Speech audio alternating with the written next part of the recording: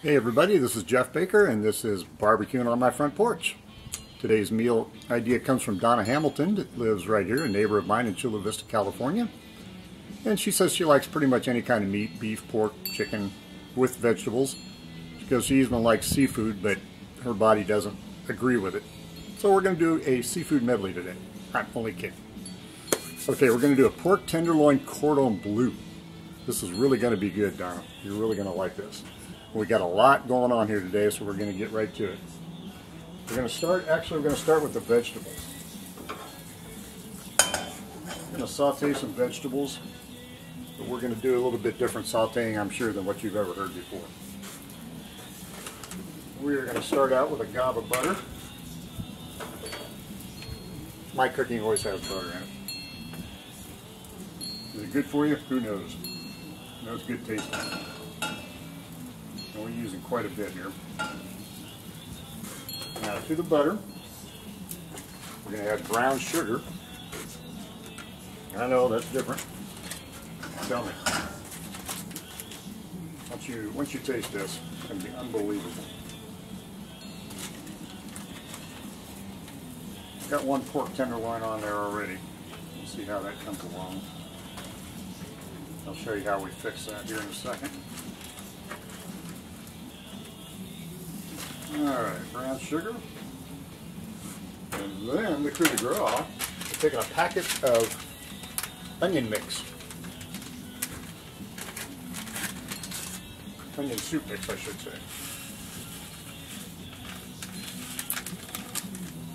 I know, that's different. I'm sure you've never heard of that. And a little salt, pepper,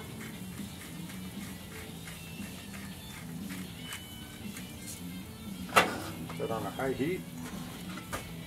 I've got some sliced up uh, corn on the cobs, I've got some sliced up zucchini, and I've got some cut up broccoli. Now the corn on the cobs were not from my garden, but the zucchini and the broccoli are from mine.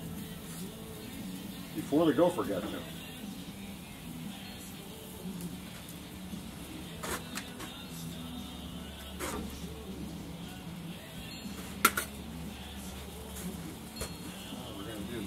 Around a little bit.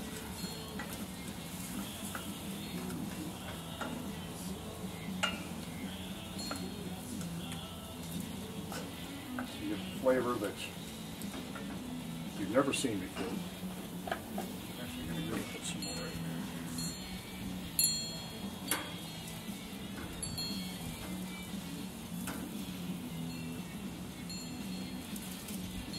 You're actually really going to enjoy this. Like this is a totally different flavor.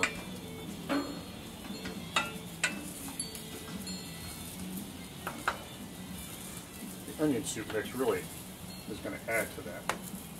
A little more butter in there. Always good to have butter.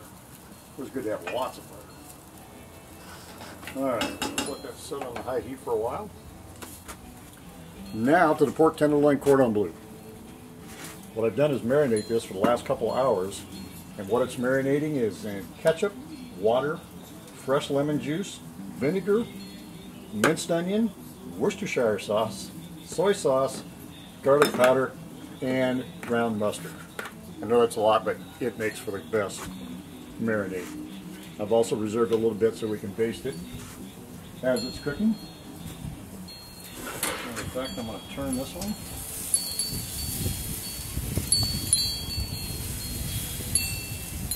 Key is trying to not get these things to fall apart. It's going to be pretty hard to do. Alright, let me show you what we're doing here. Hopefully, I've got a different different perspective today. Hopefully it's going to let you be able to see. Hopefully you can see this. Got the pork tenderloin, excuse me, and then I slit it in the middle. And then to that, we're going to add thin slice of ham. And it calls for mozzarella cheese, but I like Swiss cheese, so I'm using Swiss. And all we're doing is rolling this up into like a little pinwheel. Just like that. And what we're going to do it's plenty long, so I'm going to cut this off a little bit, try to even it up. Like I said, cut a slit into this tenderloin. We're just going to put that in there, and we're going to secure this, hopefully, with some soaked toothpicks.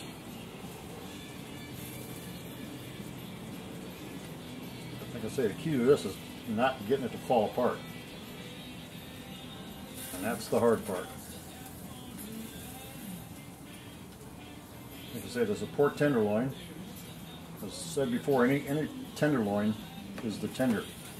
Tenderest cut of meat you can get in beef or pork. Alright, put this baby on the grill and see what happens here.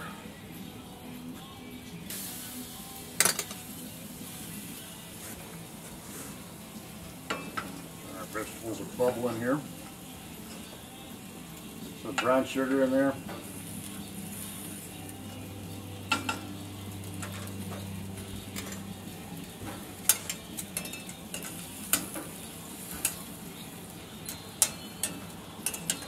Telling you, Donnie, you're gonna love this. It's pork tenderloin. It's it's really good stuff. Uh, tip, forgot one thing again.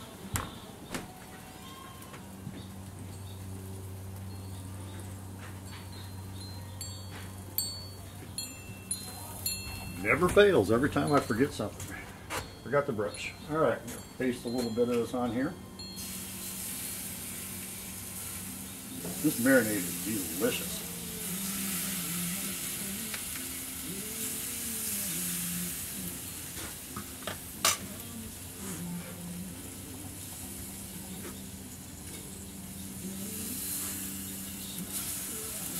As I mentioned uh, in my last video, pork you can you can leave a little pink. It Doesn't have to be all the way done. You don't want it bloody, but pink on pork is fine.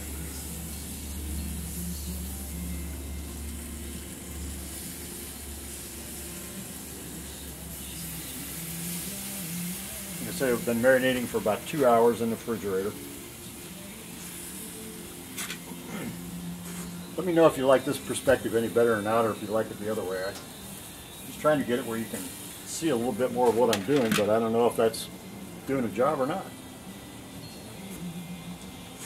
Vegetables are bubbling. Also made some brown rice earlier to go with this. I don't know, has anybody, has everybody seen these yet? These little bowls of self, self-made rice that come by minute. They're already pre-cooked. Throw them in the microwave for 60 seconds and you got your rice.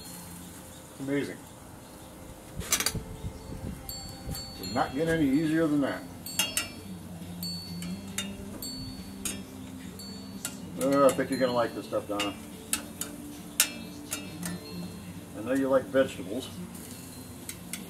This actually, this vegetable recipe, you could actually add uh, like big chunks of smoked sausage or whatever and make a full meal out of it.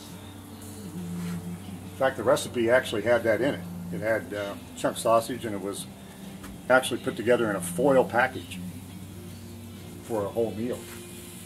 I just amended it here a little bit just to make a little bit of a vegetable medley.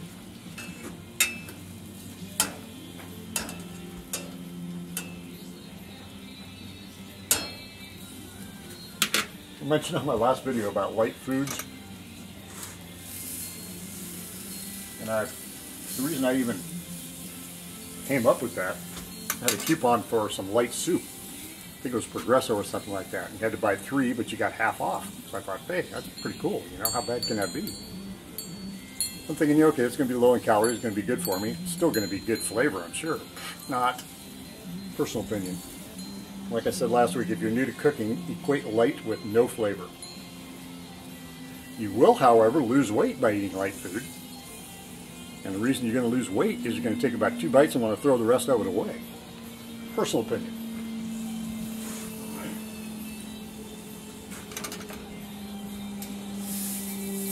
Ah, here we go now. Come to the part of falling apart.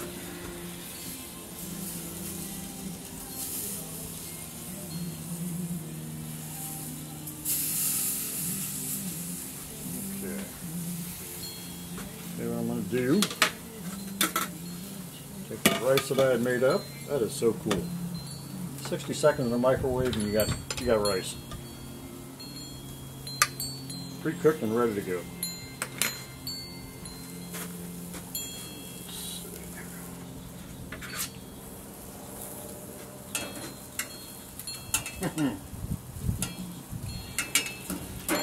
Ninety-five.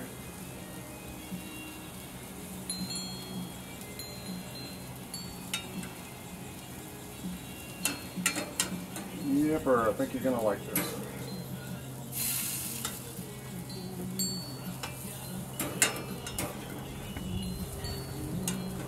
I say everything but the corn actually came out of my garden.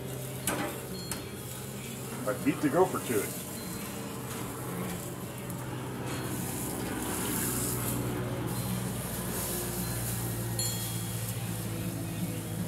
Okay, this should probably be done a little bit more, but we're on a time constraint here.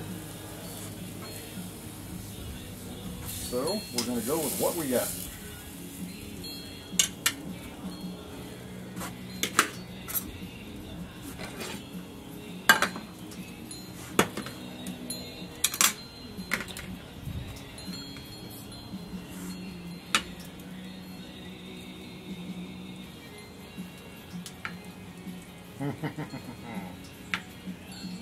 That's what I'm talking about, Donna.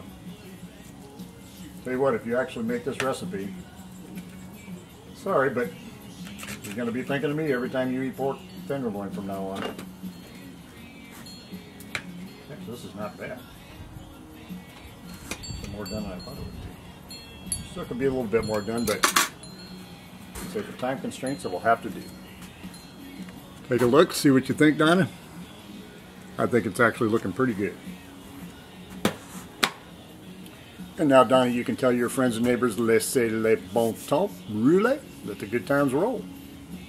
Next week, Valeria Porter wants a chicken recipe. I haven't figured out what I'm going to do with that one yet, but tune in, it's going to be a good one. So, Donna, I thank you for the recipe idea, because now I'm getting ready to eat your pork tenderloin.